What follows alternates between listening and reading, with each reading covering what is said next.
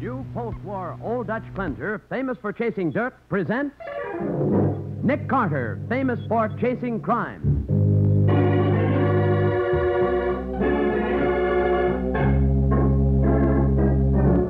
Every week at this time, two great names are joined as new post-war Old Dutch cleanser brings you one of the most resourceful and daring characters in all detective fiction, Nick Carter, Master Detective.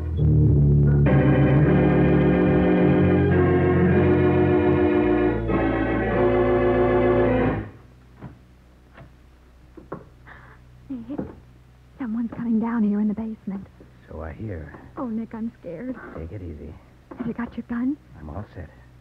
Nick, is it... I'm not positive, Patsy. But if my hunch is right, it's the murderer we've been looking for. Now for the case of the Hermit Thrush.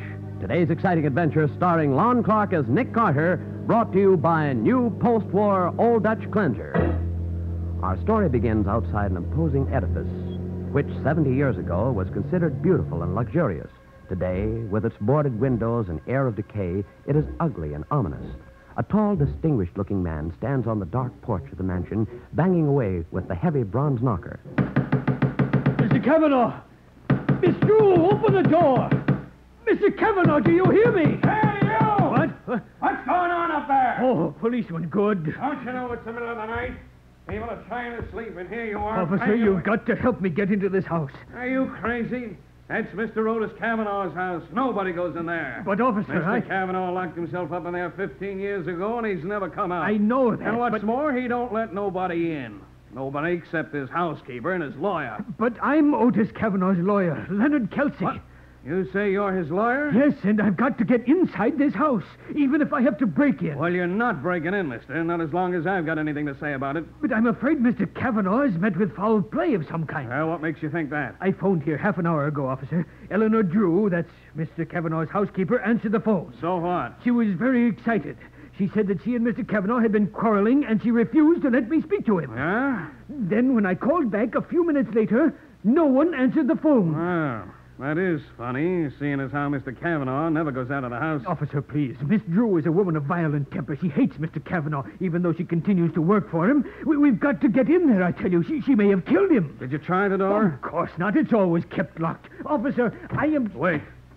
The door ain't locked now. What? Hey, maybe something funny is going on in here. Come on, let's have a look. Here, let me let me find the light. Here it is.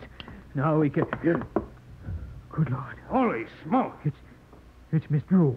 And it looks like you've been worrying about the wrong party. It's the housekeeper that's met with foul play, Mr. Kelsey. She's been murdered.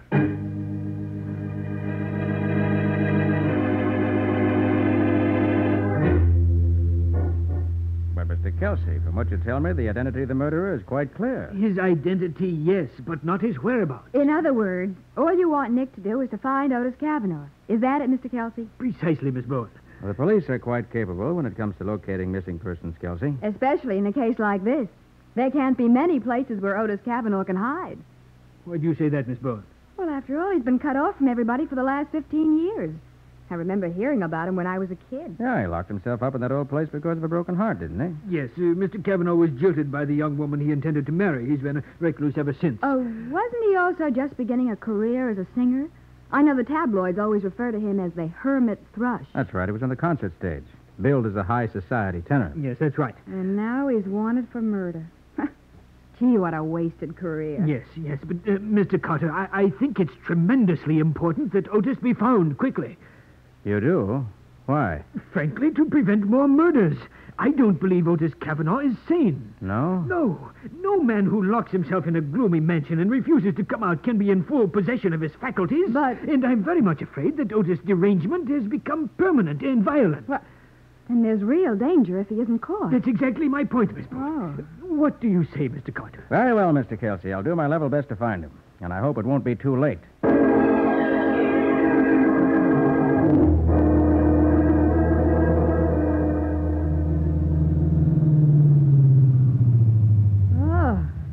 So that's the Kavanaugh mansion. Hmm. How long has this house been boarded up this way, Kelsey? Why, ever since Otis went into seclusion. And you and Miss Drew were the only ones who saw him in all those 15 years, huh? The only ones, yes. Oh, there's Sergeant Matheson, Nick. Oh, hi, Matty. Well, I'll be. What are you doing here? Why, Mr. Kelsey here hired me to lend a hand on the Drew killing. Any objections? A lot of good it'd do me to object. Okay, come on in. Thanks, Matty, for the cordial invitation. Oh, this is really a dirty old place, isn't it? Yeah, this Drew dame may have called herself a housekeeper, but brother, she never kept house. Uh, She was Otis' private secretary, his cook, and his nurse as well. and how she hated him. Huh? She hated him, yet she continued to work for him? It's rather odd. Well, although Otis was a recluse, he wasn't a miser, Mr. Carter. He paid her very well. I see. Well, where's the body, Matty? In the next room, Nick. Uh, come on, I'll show you. You sent out an alarm for Kavanaugh? Yeah, we got every man on the force on the lookout for him. Any chance that he's hiding somewhere in the house? We searched every inch of the joint from top to bottom. He's not in here. Well, here she is. Hmm.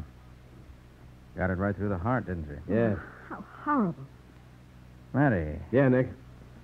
you have any reason to believe it wasn't Kavanaugh who killed her? Nick, there's only one way it adds up. Now, look. Kavanaugh don't budge out of the house for 15 years, and then when he does blow, he leaves a body behind. To me, it's open and shut. Well, that sounds reasonable, Nick. Especially since Mr. Kelsey spoke to Miss Drew just a few moments before she died, and she and Kavanaugh were having a quarrel. You know what they were quarreling about, Kelsey? No, she didn't say. Hmm.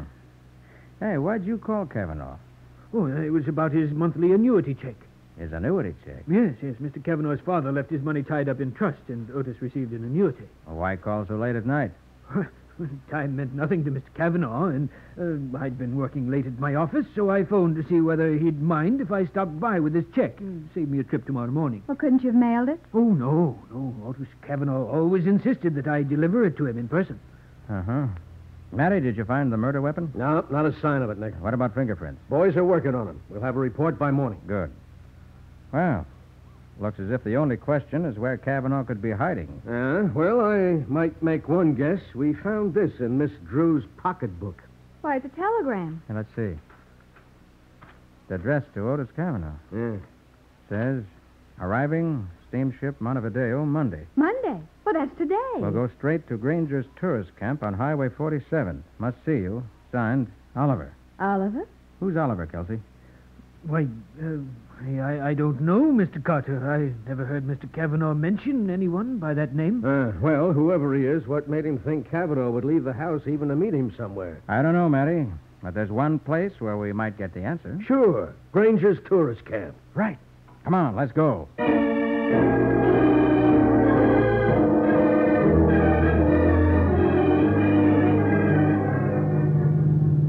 Come on, come on, Matty. Step on it. Look, Nick, I got her up to 60 now. I want to get there in one piece. Okay. But if you hadn't been so bullheaded about phoning headquarters before we left the Kavanaugh place, we. Nick, how many times do I have to tell you? I ain't one of you private eyes. When I start going places, I got to let people know. Well, I suppose you're right, Matty. Nick, what do you expect to find when you do get to this camp? Oh, Otis Kavanaugh, I hope. Maybe we should have brought Kelsey along to identify him, huh? If you don't mind, I'd rather work without Kelsey around. Why? You think he's mixed up in this? I didn't say that. Ah, Nick, the whole deal's as plain as the nose on my face. Cavanaugh and the dame had a fight. Cavanaugh plugged her and then beat it. And that's that. Maybe, Matty. Maybe. But then again, there's a Matty, look possi- out! Huh? Those headlights coming out from that side road. Slow down, Matty. He's cutting right out in front of us. Yeah, that, that darn... Oh, Nick, he's shooting at us! Watch it, you two!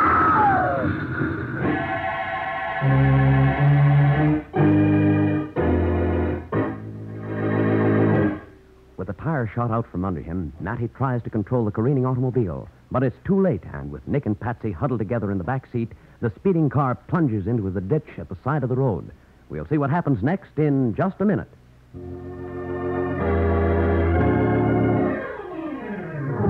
And now back to the case of the Hermit Thrush. Today's adventure with Nick Carter, brought to you by new post-war Old Dutch cleanser. As we pick up our story, Nick, Patsy, and Sergeant Matheson are just recovering from the shock of having their car skid off the road at high speed. Patsy. Oh. Patsy, are you all right? I think so, Nick. Well, I ain't all right.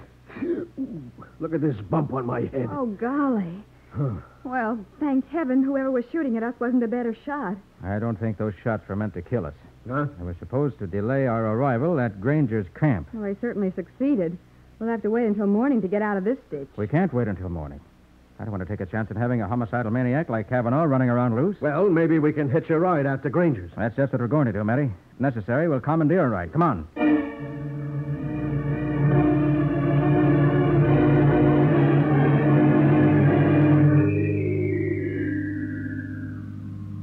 Are you the proprietor of this tourist camp? Yes, that's right. I'm Robert Granger. Well, my name's Nick Carter. This is Sergeant Matheson of the Homicide Squad. Yeah, we're looking for a man who may have checked in here sometime yesterday. Uh, what was the fellow's name? Oliver. Uh, was that his last name? I don't know. You have a register? Yep, sure. Yes, here's a book. Here are the folks that came in yesterday. See anything, Nick? Yes, Niles. Oliver Niles. And that's the only Oliver here. Where is he, Nick? In um, at cabin 26, uh, 26. 26 is straight on back. Last one to your left. Thanks, Granger. Okay, we shall see what we shall see.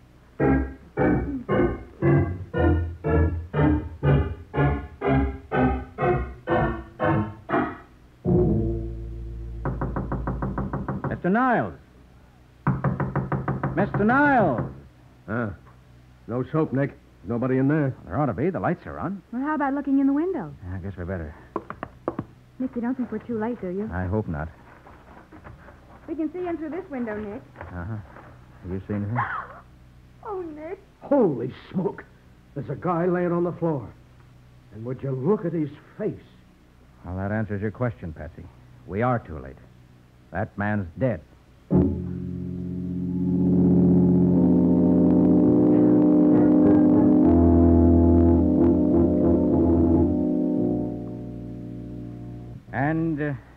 Say you're not sure whether this man is Oliver Niles, Granger. No, no, I ain't, Mr. Carter. You sure can't tell much from his face. Uh, not after somebody shot him point blank with a shotgun. Oh, it's awful. Yeah, hasn't been dead more than an hour, Nick. Only there was some sort of identification on him. Take a look around, will you, Patsy? Go through everything. See what you can find. Okay, Nick, I'll look. I don't get it, Nick. We already know who he is. Do we? Why, he was Oliver Niles, of course. It's perfectly clear what happened. Yeah? What? Sure. Kavanaugh found out where we were heading and beat us to the punch. Took a, couple of pot shots at us on the road and came out here and knocked off Niles. But why, Matty? Why? What's he Well- up to? I don't know. He probably don't know that himself. Didn't you yourself call him a homicidal maniac? Nick, Yes, what is it, Patsy? Nick, look. Huh? He was in his bed, under his pillow. Uh-oh. A watch. Let me see. Well, well, well. Something engraved on it, Nick? Yes. From MV to OC. Christmas, 1932. O.C. Why, that stands for Otis Kavanaugh. What? Well, Matty, what's this do to your neat little theory? Oh, brother. It knocks it into a cocked hat. Nick, this guy ain't Oliver Niles at all. It's Otis Kavanaugh. Oh, boy, we finally caught up with him.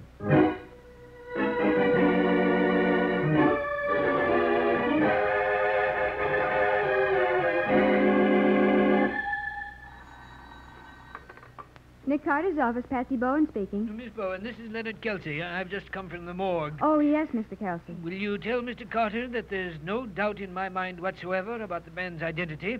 It is Otis Kavanaugh. I see. Well, thanks, Mr. Kelsey. I'll tell him. Thank you. Well, Nick, it looks as though you're out of a job. Kelsey identified him, huh? Uh-huh. Huh. And since we were hired just to find Kavanaugh, it looks as though we're about to be fired. Patsy, I don't like it. Don't like it one little bit. What do you mean? Doesn't add up. There's something wrong someplace. I don't see what's wrong. No? Tell me again what happened, Patsy. Start from scratch, and I think you will see. Well, uh, Kavanaugh had a quarrel with Eleanor Drew and killed her. Yeah, go on. Then he lit out for the tourist camp, planning to lie low there. When he found out we were heading for the same place, he tried to stop us. But how did he find out where we were going? What? Gee, I don't know. And why didn't he kill us when he had the chance? Well, And he- why did Niles shoot Kavanaugh in the face with a shotgun? Do killers usually do that? No, of course not. No, but no, no, no. Now, Patsy, there are too many holes. Too many murders and attempted murders for no apparent reason. There's something missing. I want to find what that wait a something... minute. Nick Carter's office, Patsy Bowen speaking. It's me, Patsy. Let me talk to Nick. Oh, just a second. Here, Nick, it's Sergeant Matheson. Oh, thanks. Hiya, Matty. I suppose you know Leonard Kelsey identified the body, Nick. Yeah, yeah, I know. Well, I just thought I'd check with you before I gave the story to the papers. Hey, Matty, what Yeah. about the fingerprints? Uh, fingerprints? Yes, you have a report on the ones your boys found in the Cavanaugh house? Oh, those? Yeah. Any of them jibe with the dead man's? No, they don't, Nick. None of them? No. I don't see why you're getting so hot and bothered about that. After all, the body's been identified by the man who knew Cavanaugh best. Look, Matty. And what's what? Huh? How could Cavanaugh live in that place for 15 years and not leave a single fingerprint? Hey, you got something there. I think I have. And I don't think we've found Otis Kavanaugh.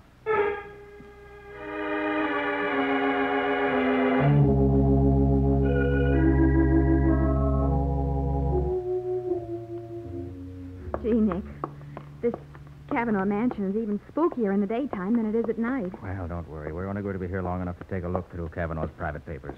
To see if we can find out who is Oliver Niles, maybe? Maybe. Yeah. This looks as though it might have been a study. In here. What's the matter? That window there, that crack in the shutter. Oh, oh, oh, Nick, I could have sworn there was a man's eyes looking in at us. Well, there's no one there now. Yeah. Well, maybe this creepy old house is making me see things. Forget it. Okay. All right, let's have a look in this file cabinet. Oh, my goodness, Nick, millions of papers. Hmm. It'll take us forever to go through all those. And they're all old, too, turning yellow, in fact. Yeah. Oh, here's a scrapbook, Nick. Oh? Yeah, let me look at it. Those are reviews. The critics' comments on Kavanaugh's debut as a concert singer. Uh-huh. And back here are some society columns. Huh? Oh, here's a picture of the whole family on a yacht. I wonder which one's Otis. Oh, wait a minute. Let's see. Reading from left to right. Mrs. Roger Hobart, Mr. Roger Hobart, Mr. and Mrs. James Niles. Niles. Yes, and the two sons, Mr. Oliver Niles and Mr. Otis Cap... Otis Kavanaugh.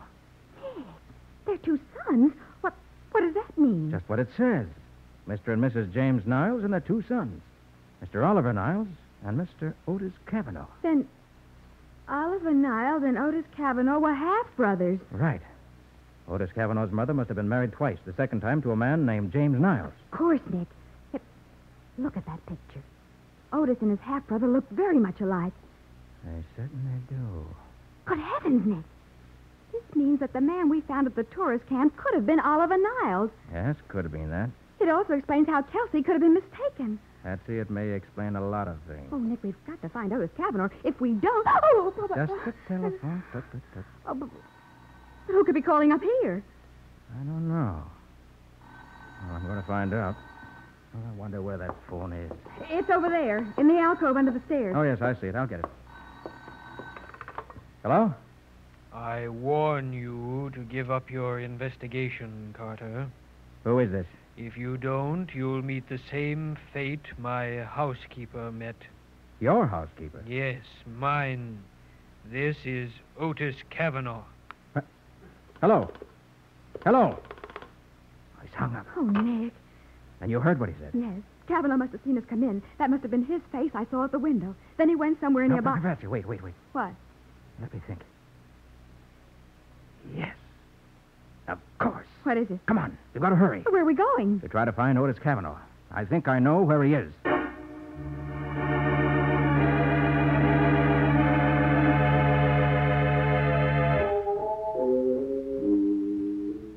Nick, are you crazy? Otis Kavanaugh couldn't be down here in the cellar. You just talked to him on the phone. That wasn't Kavanaugh. That was. What? How do you know it wasn't? Patsy, don't you remember how Otis Kavanaugh was billed as a concert singer? Yes, as a high society tenor. Well, is it likely that a man who had sung tenor could speak in a deep bass voice like the one we heard on the phone? Of course not. But that still doesn't prove that Kavanaugh's down here. Well, maybe it doesn't prove it, Patsy, but we're going to keep on looking. I have a feeling that we're going. Nick, listen. What's that? The door, the head of the cellar stairs. Someone's coming down. Yeah, Nick, I'm scared. take it easy. Have you got your gun? I'm all set. Nick, I'm not positive, Patsy, but if my hunch is right, it's the murderer we've been looking for.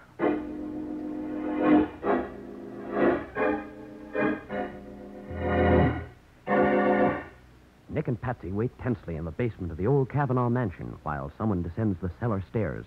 Whether or not it's the killer and who he is, we'll find out in just a minute.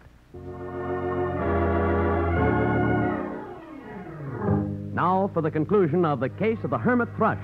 Today's adventure with Nick Carter, brought to you by new post-war Old Dutch cleanser. Huddled closely together in the basement of the old Cavanaugh mansion, Nick and Patsy wait as someone slowly descends the stairs. Here he comes, Nick. Aren't you going to let him know we're here? I think he already knows it. Hello there. What? Why, it's not Otis Cavanaugh at all, Nick. It's Mr. Kelsey. Yes. Come on in, Kelsey. Oh, Mr. Carter. And Miss Bowen, too. What in the world are you doing down here? We've been looking for Otis Cavanaugh. In the cellar? I'm afraid you'll never find him here. You're mistaken, Kelsey. You mean you found his grave? So he is buried down here. Yes. It- Nick, look out. He's got a gun. My hunch was right, eh, Kelsey? You and Eleanor Drew buried Cavanaugh down here 15 years ago. Knowing that won't do you any good now, Carter. Nick, please. He's got us covered. And I'm going to kill you both. I can't afford to have my secret known. That why you killed Miss Drew and Oliver Niles? You figure everything out, don't you? All right, I did kill them. Doesn't matter that you two know now, because neither one of you will live to testify against me. I'm not so sure of that, Kelsey. Okay, Sergeant Matheson, you can come out now. Here's your killer. Sergeant Matheson? Okay, Kelsey. Oh, why you go? Patsy, get his gun. Okay, Nick. Gosh, he's out cold. Oh, that's the same. Pick it up. Oh, gee. He sure fell for an old gag looking around when you call Sergeant Matheson, who isn't within five miles of this place. Oh, they do it nearly every time. Now, our next job is to get our murderous little friend here down to headquarters and have him booked for murder.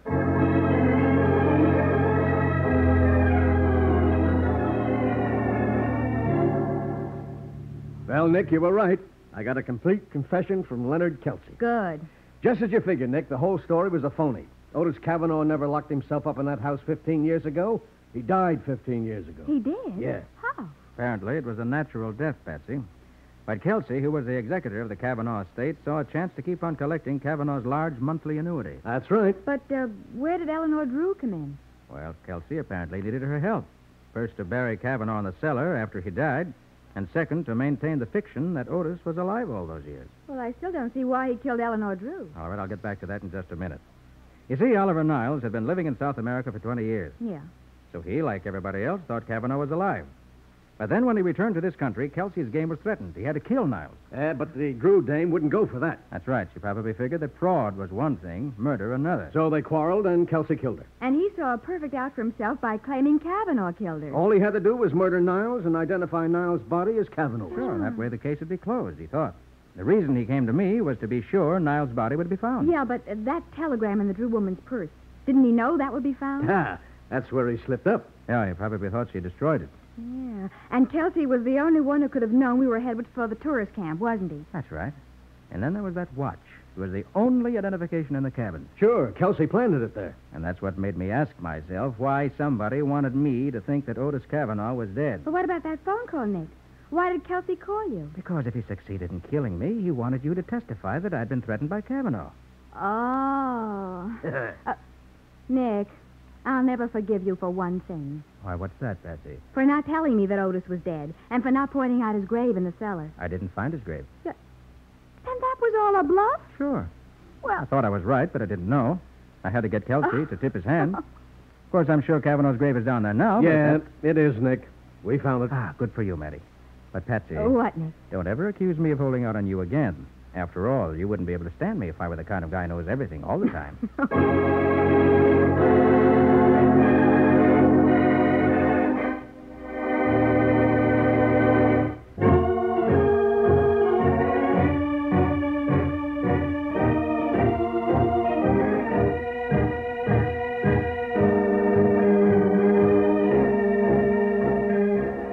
Carter, Master Detective, produced and directed by Jock McGregor, is copyrighted by Street and Smith Publications Incorporated. Charlotte Manson is featured as Patsy. Today's script was written by Ken Pettis and Lou Schofield. Original music is played by Henry Silverne. This program is fictional, and any resemblance to actual persons living or dead is purely coincidental. This is Bob Martin saying, when minutes count, use new post-war Old Dutch cleanser.